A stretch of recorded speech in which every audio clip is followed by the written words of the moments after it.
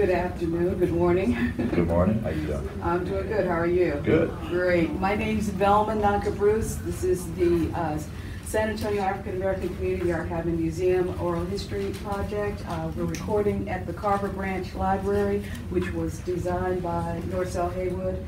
And uh, today is Saturday, October the 12th, 2019. It's about 11:15 or so in the morning. And we're at the Carver Branch Library, 3350 East Commerce Street, San Antonio. So today we have Mr. uh, Porter Dillard here. Thank you for coming today, Mr. Dillard. And if you would please start by telling us your name and your birthday. Okay, my name is Porter Dillard. Uh, my birth date is, uh, September twenty-fourth, nineteen fifty-one. So I've got a few years on it. And were you born in San Antonio? No, I wasn't. I was born in Detroit, Michigan, born and raised in Detroit, Michigan. Okay, wonderful. Alrighty, so how long have you lived in San Antonio? I've been in San Antonio since, uh, nineteen seventy-seven. Okay, what brought- brought you here? Well, as I finished my uh, school background, school training, uh, went to architecture school at Howard University. When I finished that, I went to urban planning at the University of Michigan. And after graduating, uh, getting married, um, my wife was in the military, and the only place, and I wanted to be in Texas, but the only place they could place her was Fort Hood, Fort Sam, El Paso. And I said, well, look, see if you can get assigned to San Antonio. But I didn't think I wanted to try to get in architecture in Fort Hood. And I didn't think there was much opportunity in El Paso as well. So they were able to reassign her to San Antonio with the intention of her finishing up her tour and then we moved to Houston. But we came to San Antonio and that was in nineteen seventy-seven. Wonderful. So you mentioned you wanted to come to Texas. Was there any particular reason you wanted Texas? It- Yes, it was. Uh, At the time, as I was finishing up school at the University of Michigan, it was during the, uh, let's say, the, the, the slow days on economics in the Detroit area. I mean, much more than what it is now. The auto industries were uh, pretty much down, and the economy was uh, pretty much in the tank in the Michigan, Detroit area. And I had an opportunity as I worked during my years while I was in uh, graduate school to come to Texas as I was uh, with a firm that we were doing new towns. And we were working with a firm in Houston. So I came down one week to visit with the firm in Houston we were working with as we were designing new towns for Saudi Arabia. And that experience just put it on my radar. This is where I want to be.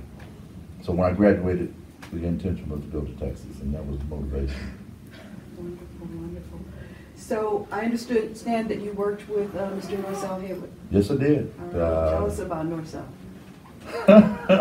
As the previous speaker and speakers have mentioned, um, there's a lot to tell about Norcell. I mean, he was a cantankerous soul.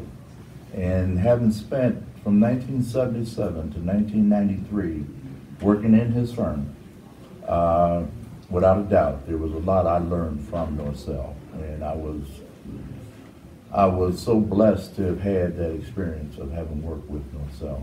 I think as one of the previous speakers mentioned, uh, can turn you ten different ways. Uh, and you can experience all manner of um, angst as you uh, would get to know Norcell. It's, it's so true. He, he, he was a gifted individual. And, and before I get too far into it, um, as knowing him for the times that we were um, practiced together. Uh, let me just delve back on what had me work with Norcell, what got me to Norcell. I think as one of the previous speakers mentioned, uh, his knowledge of Norcell, and he happens to be a frat brother of mine, fraternity brother, Alpha fraternity. Norcell's an Alpha, as well as um, nothing to take away from my other brother that's here, who's uh, one, of, one of our friend fraternities. But um, we were all alphas, and I became uh, when I was looking to move to Texas after getting assigned in San Antonio. Uh, my father is an alpha, and he was active with the fraternity and he knew of a member here, Mr. William Smedler, who was an Alpha. And he interceded with Mr. Smedler to ask, look, my son's moving, looking to move to Texas, are there any architects? And he said, yeah, we got Alpha brother who's an architect in San Antonio, Norcell Haywood. With that, I was able to have a contact when moving down here, uh, to progress into, um, um, my, my profession of architecture. But going back to, uh, Norcell and his, um, impact and what he's about, it, I, I really have to kind of bring into what I understand as some of his development as well. And having been in his office with him and, and meeting some of the people that he interacted with, Norcell was from Bastrop, Texas, which is at the time, back in the thirties, was a, probably a relatively small farming community, small ranching community, uh, not too far from Austin. I think he subsequently, his family may have moved to Austin where he did his growth and development.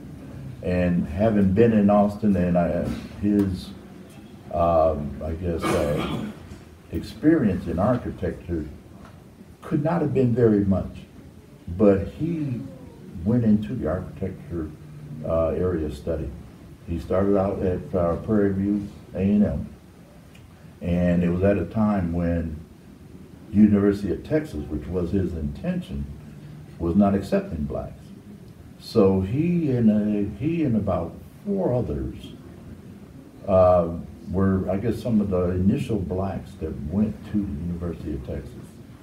He was the second in architecture to go to the University of Texas. Uh, the first was a black architect named John Chase. Uh, Norcell was the second, the second to graduate, let me put it like that. He was the first enrolled, but he was the second to graduate from the University of Texas. And as he had that opportunity to go to the university, um, he, when he graduated, he went and worked with the city of Austin in their planning department. Uh, during some time period along with that, and the item, the thing that got him to San Antonio, he was uh, uh, interacted with a, I'm gonna say a world-known architect out of San Antonio, O'Neill Ford. O'Neill Ford is known throughout the world for his his uh, attention to architecture where it fits in with what they call the Southwest style. And he had a large firm, still has one. It's called Ford Powell Carson now, which is a very large architectural practice here in San Antonio. Uh, Mr. Ford uh, happened upon Norcell, and as a result of it, he employed Norcell into his firm. And I'm without a doubt sure that Norcell was the first African American that Mr. Ford incorporated into his firm.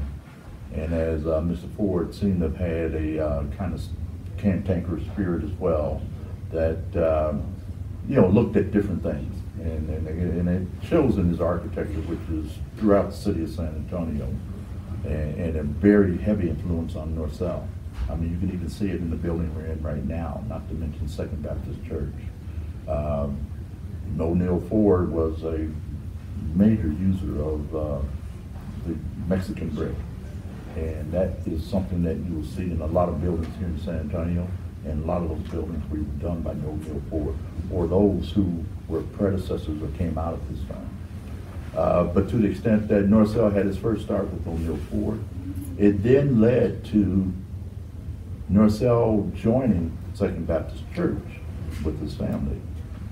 And as a result, Second Baptist Church, which was originally located close to where the uh, I-37 highway is, well, when the highway was coming through, it displaced the church. So the church was bought out by the highway department. And they were able to arrange for acquiring the property that it sits on right now, which actually included the library as well as the building next door, which at the time was a park. And Norcell being in the firm of uh, O'Neill Ford, the church went to O'Neill Ford to get have the uh, new church built and designed. And O'Neill Ford had Norcell as the lead architect on designing the church. And as a result of that, he was able to develop his, his notoriety as an architect. And then that led to him being able to spin off and start his own firm, which, firm, which was Norcell Haywood and Associates. He then subsequently built his own residence, which is just off W. W. White and, uh, the Rigsby, uh, Rigsby Road area. And he also used the Mexican brick, Spanish style.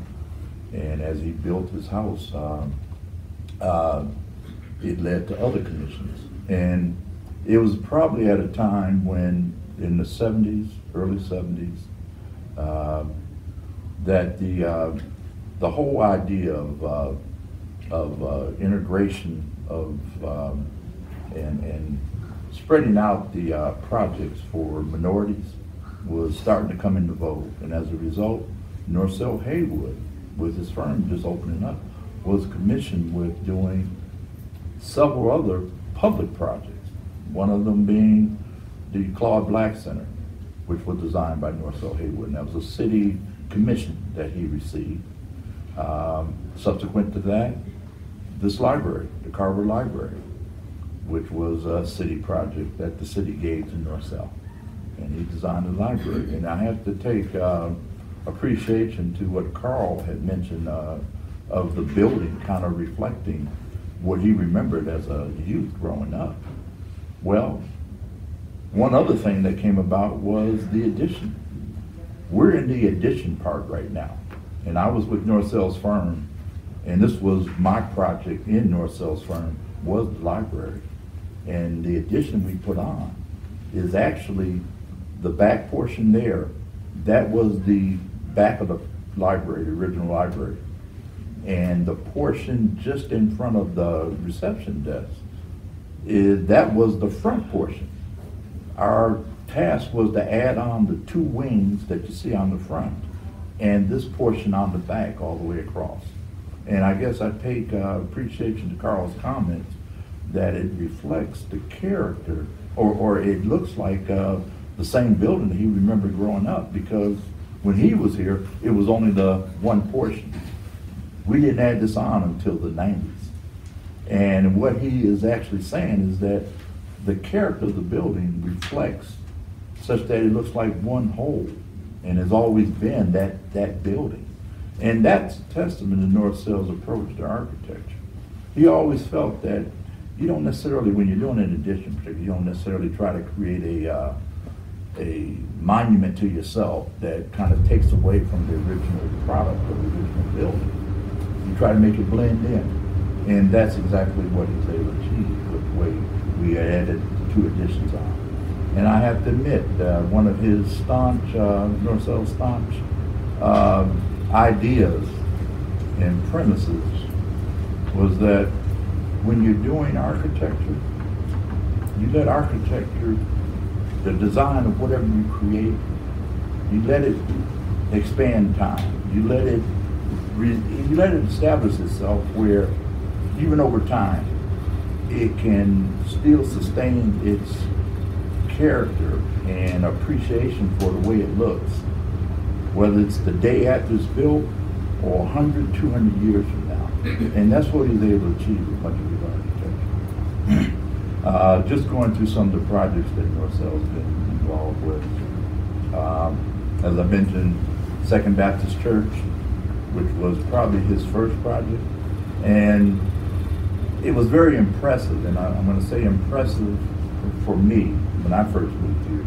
I mean, I grew up in a, in a city where there were quite a few African American and quite a few churches in Detroit.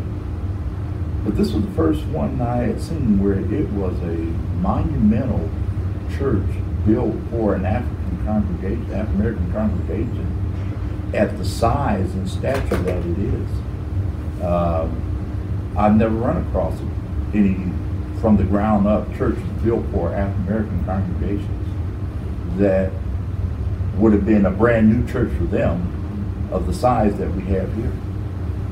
Most times it would have been a previous church that was another congregation that uh, was held there and they just moved out of that community and sold it to that African American church body.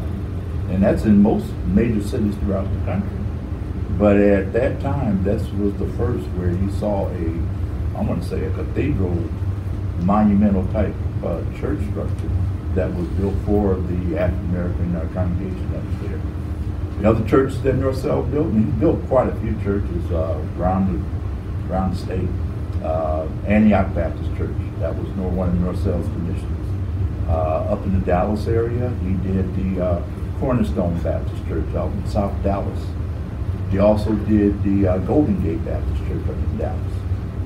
And uh, there was the Masonic Lodge, Masonic Hall up in the uh, Fort Worth area that Norcell did. But being in his office and uh, working with him on a number of the projects, it was truly a uh, rewarding experience and it's been extremely beneficial for me as for the 17 years I worked with Norcell and then went on to uh, uh, uh, take in uh, uh, employment with City Public Service and running their facilities.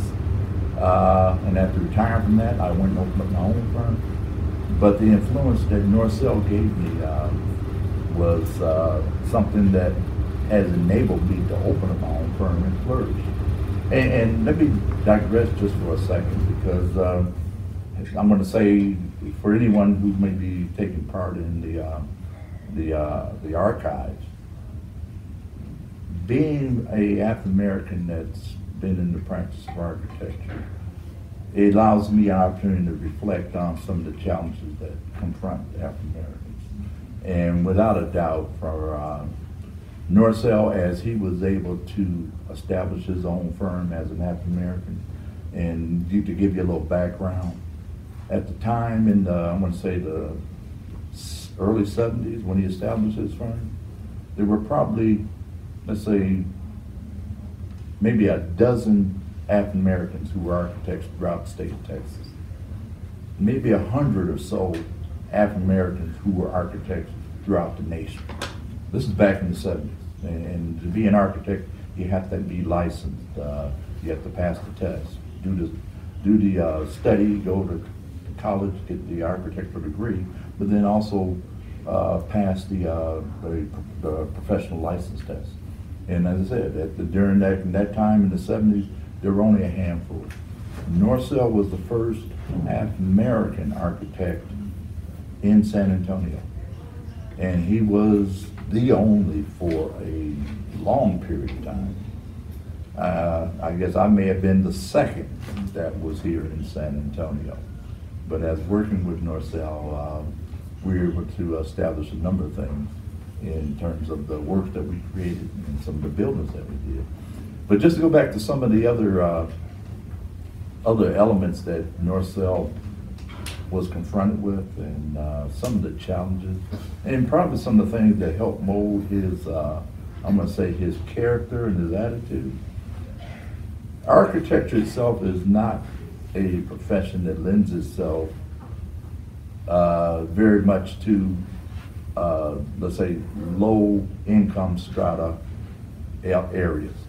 Uh, monies for fees and exposure to those that have the money to pay or hire architects, they are generally relegated in a, uh, a higher economic area that, particularly during that time, African Americans were not so much akin to. Things have changed now, but at that time, there weren't many, weren't many opportunities. So as a result, as an African American, your opportunity to get commissions where you could sustain an office was primarily because of the government approach to engaging uh, minorities, uh, which was a part of the Johnson era effort, engaging minorities to be a part of the process.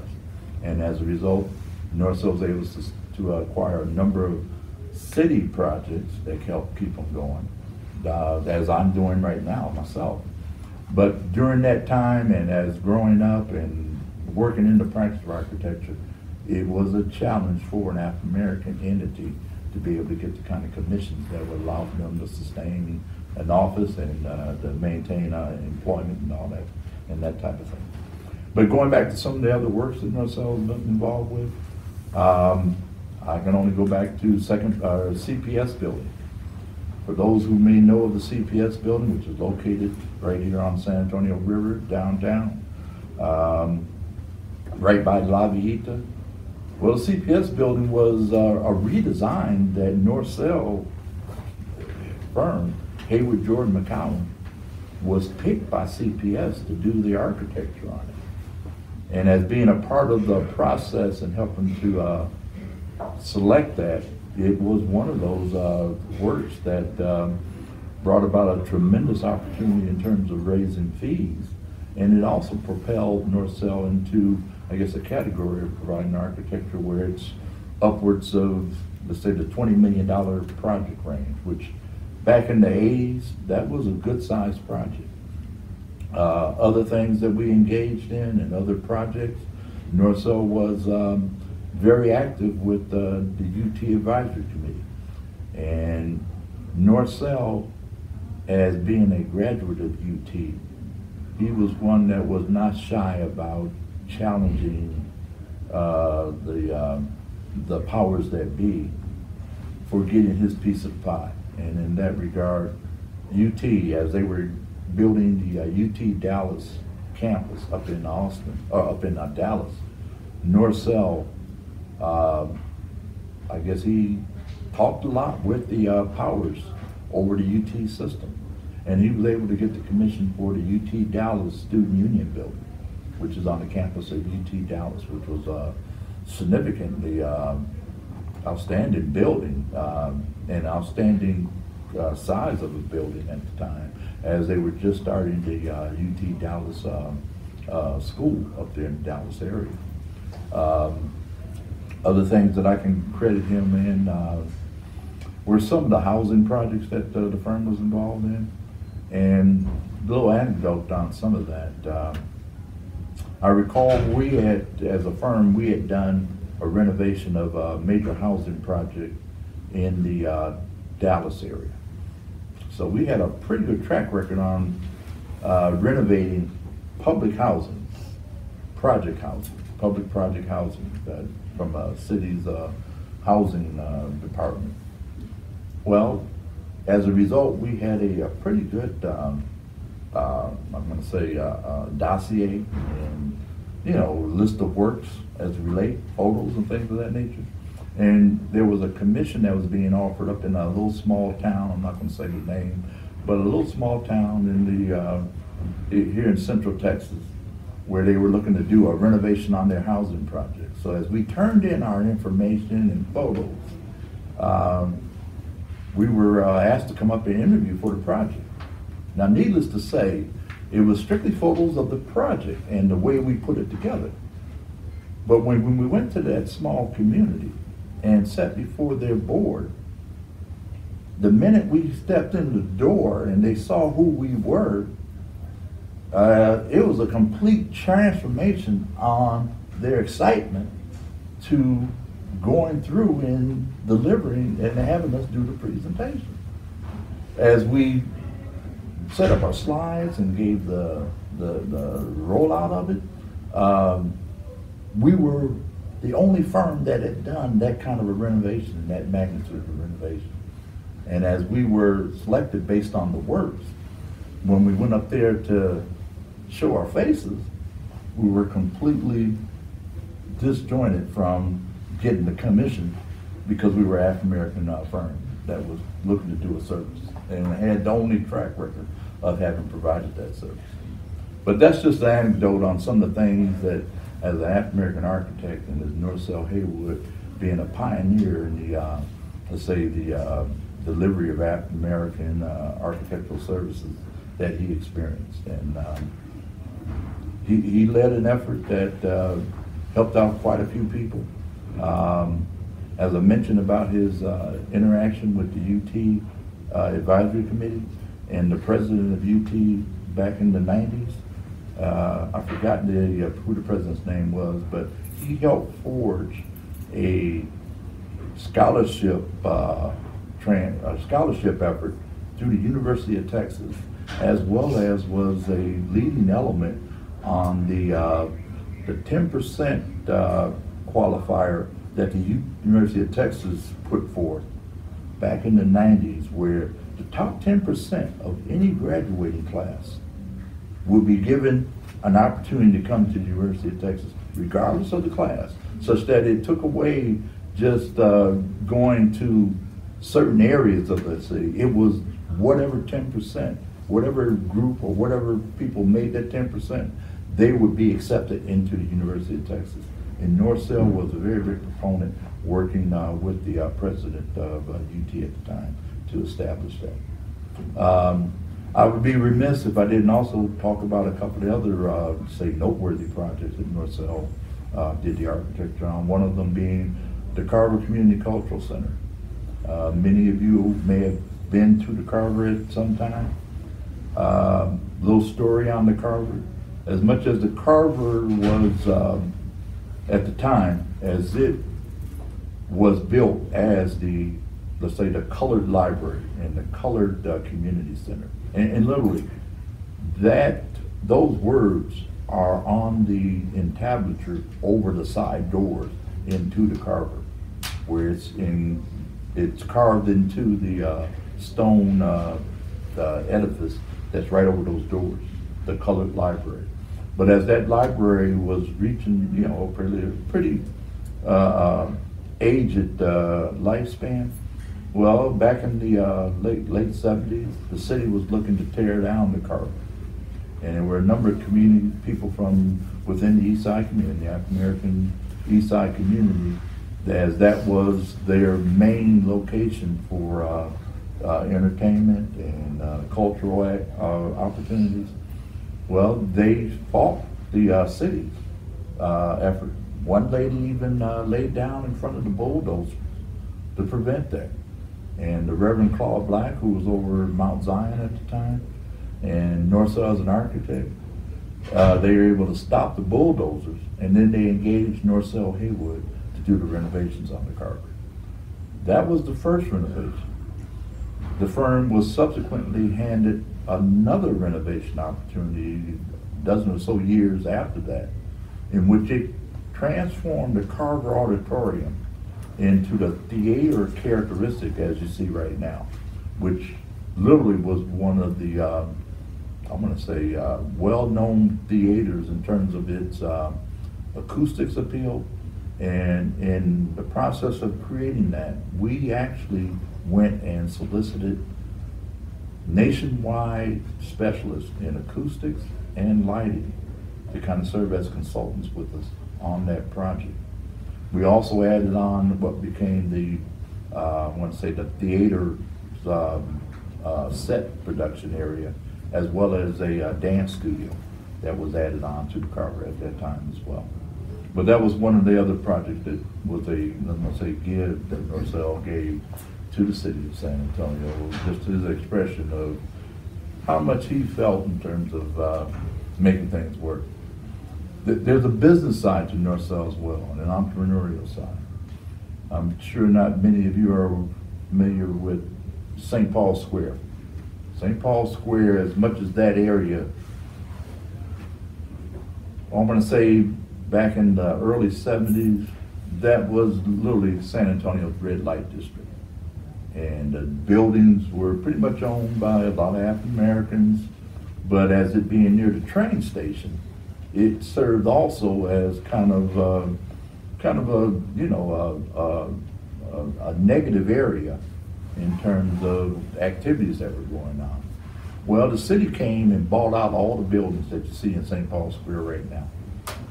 And as a result, they went back and did a redevelopment effort in which they engaged Norcell along with O'Neill Ford, Ford Powell Carson, to develop a master plan for that whole area. And the two firms developed the master plan. And it was to create the, let's say, the higher end business and office characteristics, restaurants and things of that nature, as what you see right now. And, and so Norcell was a part of that master plan development that created St. Paul Square, which kind of helped spur on some of the other positive developments that you see with the Alamo Dome, as well as with the hotels and the, uh, and the, uh, um, the, the high-rise apartments and things of that nature. But Norcell's own entrepreneurial spirit was his effort to also buy four of the buildings And he purchased and redeveloped four of the buildings in that St. Paul Square area. The buildings are the ones that are right there on the corner, just right opposite the, uh, the, uh, train station there. And he incorporated, put in a nightclub in the building. It was called the, uh, the Bottom Line. That was kind of an old expression of Norcell's that he would use in his interactions with people, you know, what's the bottom line? So he created a, a uh, nightclub there, a very uh, busy nightclub and a very active one that, uh, you know, served the city well.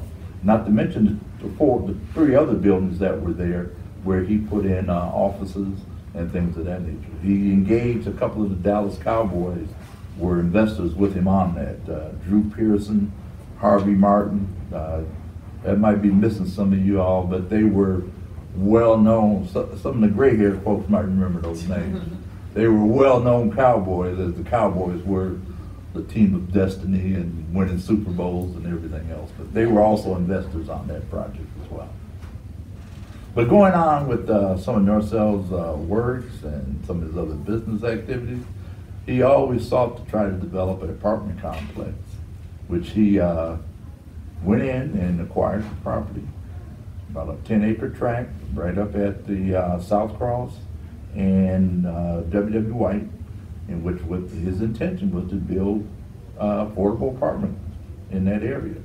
The, the, the, he went through a lot of uh, challenges from the financial institutions, and the project was never built, but that was one thing that through uh, his, I'm gonna say his final days and his profession, practicing of architecture, was one of the things that uh, was always still on his drawing board to try to achieve, but he never was able to finish that. But all in all, um, I can attest to my experience of having been working with Norcell and the things that he has, uh, I'm gonna say, uh, passed on to me in terms of approach to architecture, design, and how to deal with the, uh, deal with the, the, the system. And when I say system, deal with the powers that be when you're trying to get a project built. Um, he, he, he encouraged me and passed on to me a lot of traits that have been beneficial to me in my practice of architecture that uh, allow for me to do some of the things that I do right now as well. Um, if there's anything else I could lay on, there's, there's, I know I'm missing some of his buildings. Uh, Well, I was curious, uh, certainly he did a lot for the African-American community. Are, are there uh, structures outside of the African-American community that he worked on? Uh, there are a number, as, as I mentioned, up in Dallas, there are a couple of churches, not to mention the UT Dallas uh, Student Union. Uh, in Austin, uh, he worked with Ebenezer Baptist Church on the development of their, uh, uh, their community center, which is right there in the uh, Austin, um, Sixth Street area, um, East Austin. Uh, And we also did a very similar, I'm gonna say, master plan development for the East Austin, I guess it was called Robertson Hill area as, it was known, but it was the East Austin area of, uh, Sixth Street up to Eleventh Street from thirty-five up to, uh, Chicon. That was a whole neighborhood that was kind of Austin's, uh, east side African-American community. And the city of Austin Redevelopment Authority engaged our firm to develop a similar master plan development, similar to what we had done with, uh, in San Antonio at, at St. Paul Square. And I have to attest that as you, if you've been up in Austin, you will see that that whole area has pretty much transformed to a tremendous, uh, I'm gonna say residential. I'm, I'm just sorry to say that it's been a regentrified residential because the people that were previously there are no longer there. And, uh, as the properties that they own have been acquired and the whole area has been re- regentrified, it's taken that portion of the Austin area and pretty much really expanded it tremendously. Well, usually that's the case, if it's those areas that are closer to the downtown, Without a the business hubs that I are. mean, we're experiencing it here. I mean, I can attest to, uh, I guess, folks that might be familiar with Dignowity Hill or the Denver Heights area, which is starting to get its, uh, the pressure put on the, uh, property values that are creating some, you know, some issues within some of those areas as well. But, um, that and, uh, if I was to count all the projects that he's been involved with, there've been hundreds. Um, I was trying to recall some of those that stand out or that we may be familiar with, particularly here in San Antonio.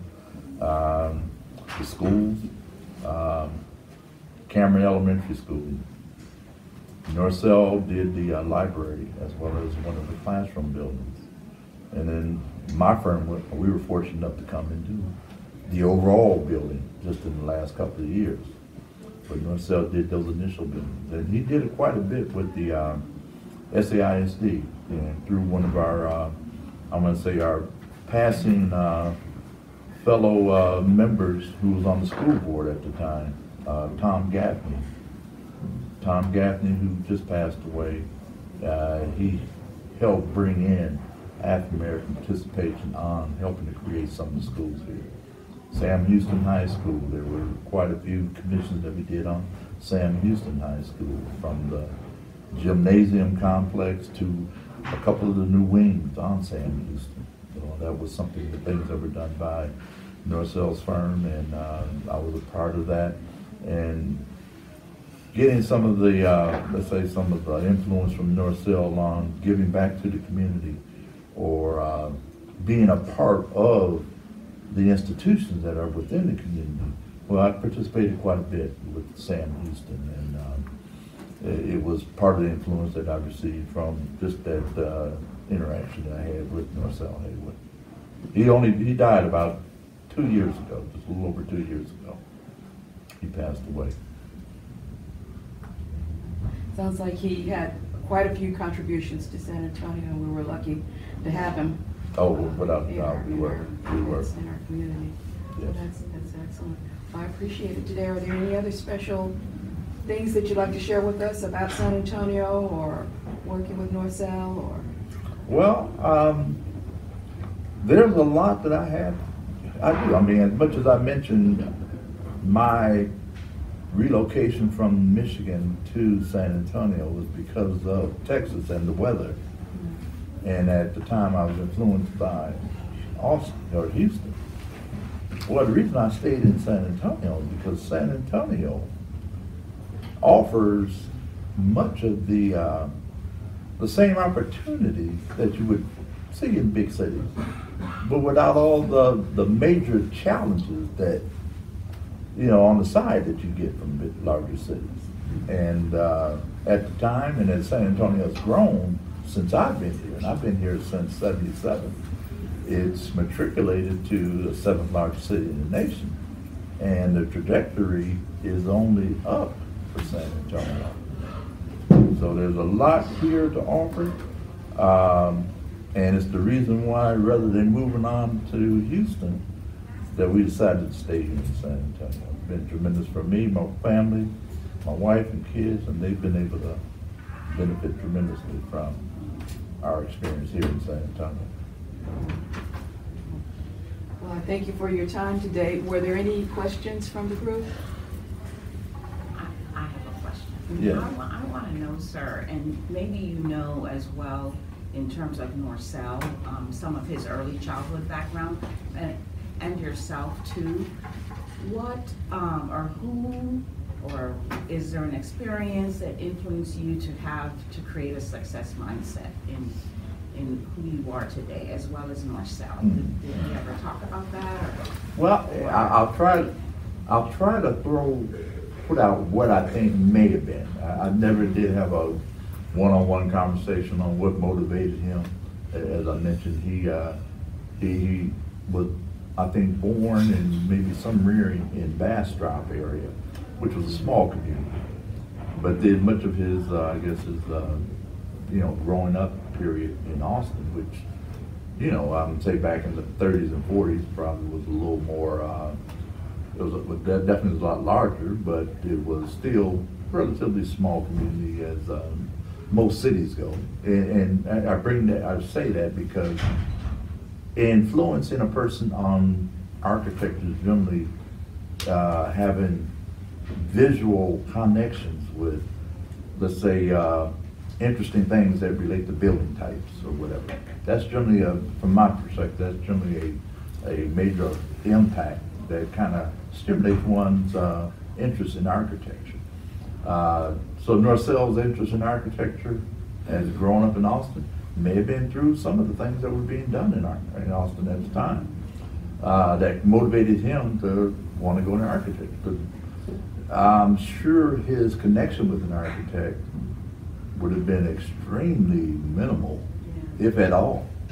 Uh, even mine with an architect. I mean, I've grown up in Detroit where you saw a lot of architecture, but uh, I, I, I did have an opportunity to meet an architect through my father who knew one, an Anglo architect up in the Detroit area who worked for the Housing Authority. And that was my only contact, but my interest in architecture, actually, and, and I cited this in a, uh, in a, uh, uh, production in the Black Book. My interest in architecture grew out of, uh, an experience I had in the fourth grade. And it was one of those, uh, situations, and I'll quickly go through it. Being in grade school in a predominant African-American community, the teacher was out, and as a result, the substitute just said, hey, just keep busy, keep quiet, you know, stay at your desk. So I took out uh, pencil, paper, and a ruler, and started drawing a house. It was a house that was being built in my neighborhood, that I was, you know, brand new house that was being built in my neighborhood. So I was able to create such a likeness by the end of the class hour. When uh, we were leaving, all the kids came by, all the classmates, and they just marveled at the likeness of the house. Now, this is in the fourth grade, so, you know, as using a ruler and, you know, the pencil and that, and it captured all the features, it kind of struck me at that time, wow, this might be something worth pursuing. So from then, it went on to middle school and shaking drafting, and then on to high school where there was a uh, extensive architectural uh, curriculum in my high school. And then I went on to even work in an architectural office while I was in school. So that in itself kind of helped uh, develop my, let's say, appreciation of architecture, as well as my uh, focus um, on going into architecture. Uh, yeah. We spoke very briefly about, um, you know, SAAACAM, we're situated at the Sutton family, the home, you know, the birthplace Yeah. of all the Suttons, all fifteen kids. We, we spoke briefly about that, but I wanted to know, I know that you are the reason why we have the beautiful house that we have now, where we're situated. So I wanted you to give us a little bit of information, um, about that process, but then also, um, just some of your background, uh, working with the Suttons. I know you, you had to have met and worked with some of the Suttons at some point, so I just wanna, you know, really get your Mhm. perspective from that, that place. Well, uh, the house itself, the Sutton, the, uh, say, the house she's mentioning is the Hope House, which is located on Cherry Street, which actually was the original home of the Sutton family. And for you all that might not be familiar with the Sutton family, the Sutton family is a, um, what, do I call it, dynasty or? It's probably one of San Antonio's, uh, what do you call it, upper crust, uh, African American political families. There was a large family of, uh, you know, kids born to the Sutton family. And they have been in tremendous leadership and they've applied their leadership in a number of things. One of them was the Manhattan Borough President. It's like the mayor of Manhattan, Percy Sutton. And he was actually the, uh, the lawyer that represented Malcolm X's, uh, Malcolm X. That's correct. Yeah. But he moved, when he grew up, after he became of age, finished his schooling, he moved to New York and he matriculated within the New York Harlem area to become the uh, Manhattan Borough President and uh, a very well-known leader. Not to mention uh, his brother, uh, G.J. Sutton, who the building that was just recently torn down, which was the state office building. G.J. Sutton was one of the uh, first African-American uh, state representatives that represented the San Antonio area. And that was G.J. Sutton. And they've got a number of other Suttons, doctors and lawyers and other capacities. But that's the family. And the house that they lived in was the Sutton House right there on Cherry Street. And it was a funeral home. They were in the funeral business. And as uh, the house was the birthplace of all the kids and everything, as it was converted to a funeral home, it was actually clad in uh, shaker shingles. And uh, I guess a, a, a, a adequate design for when it was done, maybe in the 70s or, or 60s. But as that was a funeral home, the house was then uh, the funeral was there, the, then the funeral home moved out, further out to uh, W.W. White area. And the house is just left there. And it's sat there for um, many years, you know, with nothing going on. Um, I guess the, one of the founders of SAAACAM, George Fredericks, as he operates a nonprofit entity, saw the house and took upon himself to see about acquiring it and turning it into a uh, facility for um, uh, helping out uh, uh, folks in homeless capacity. And it became Hope House. Now, George uh, interacted with um, the Suttons, and, and I know several of the Suttons here, and kind of encouraged George that, look, look, there's a tremendous history opportunity here.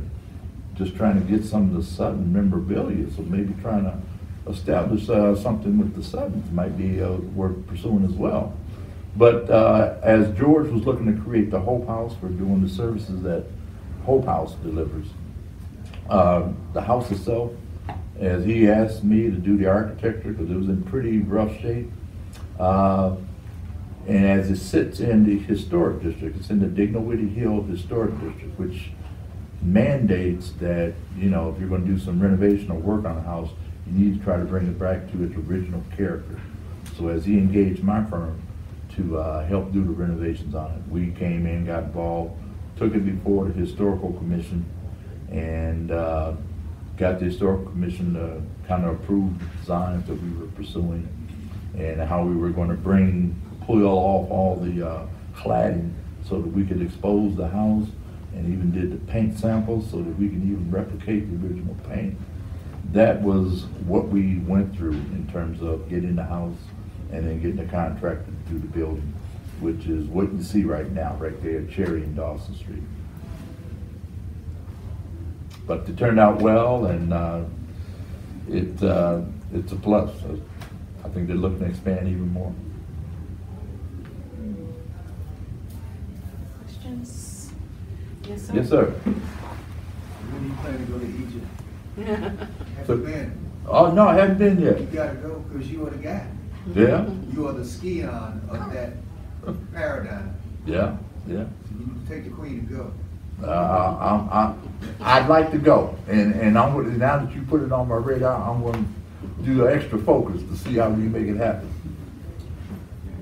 Well, Thanks again for coming today.